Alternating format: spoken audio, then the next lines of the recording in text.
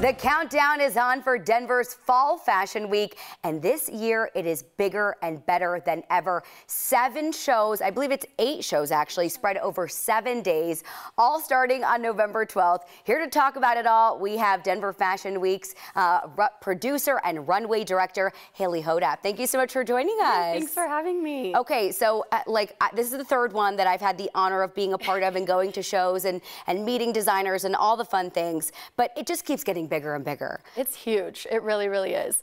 We, you know, I feel like the last few seasons we're like, yeah, we can add more, we can add more. And now we have eight shows yeah. where I'm like, where are we? It's already almost here. I'm, It's getting really exciting. So talk to me about some of the new themes that we have because we act, we have, you know, local couture. We're bringing back a kid show, but there's a hair show and some other really cool themes because of course every show has it has its own theme, which is fun. Yeah, we try really hard to give everyone their moment, you know. Um, so our hair show actually this season is going to be partnered with Southwest Hairstyling Awards.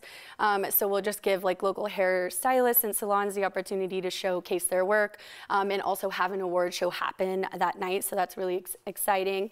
Um, we have a sustainable night again that's going to happen, a national night, uh, lifestyle, ready to wear, streetwear. We just literally have something for everyone. Yeah. okay, and so lifestyle night is Tuesday, November 15th. Correct. And there's a lot of big things happening with that show. So yeah. Meow Wolf is showing their first, putting together their first ever fashion line. I mean, what's that going to be like? Yeah, yeah honestly, um, I think everyone should be on their toes, like yeah. because really we don't know exactly what to expect yet. Um, the designer with Meow Wolf is one of a kind. It's yeah. really, really exciting for Denver Fashion Week to partner with Meow Wolf and have that opportunity. Um, but their entire collection is all basically sustainably right. focused. Yeah. I think that's just a big conversation in Denver. It's really mm -hmm. important to not only Denver Fashion Week, but Meow Wolf. So yeah. I think that's exciting. Yeah, because you guys have your own separate sustainable night, but they're going to yeah. be on the lifestyle night, and their theme is trash. I was yeah. reading about it, but it's just a funny take on it's all reusable fashion, which is neat. And also, uh, the venue is different this year.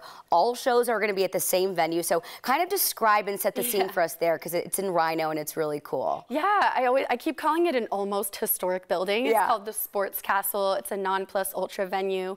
Um, it's a beautiful beautiful, like historic, like marble, um, multiple levels. Mm. We'll use multiple floors a few of the nights, cool. both of the Saturday night shows.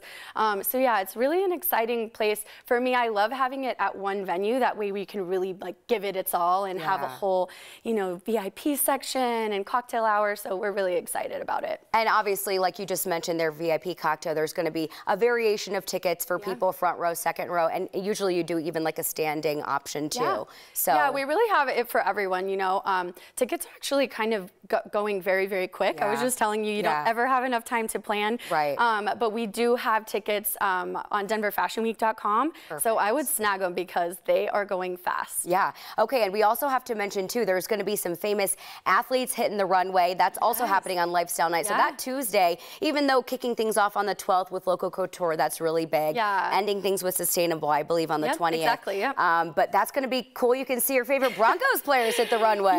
Yeah. We're, we're really excited. We have four four different Bronco players, um, Bradley Chubb, Kareem Jackson, Jonas Griffith, PJ Locke. So it's really exciting um, to not only see them on the runway, they're going to be walking for Icon Suit, which is a huge custom tailor that night. Nice. Um, so yeah, we're just excited to have them. Um, they're excited as far as I know. Yeah. So yeah. Amazing. Well, Haley, thank you so much for joining us again. And like you mentioned, uh, things kick off November 12th to the 20th. You can get tickets at denverfashionweek.com. Sounds like a blast. I love it.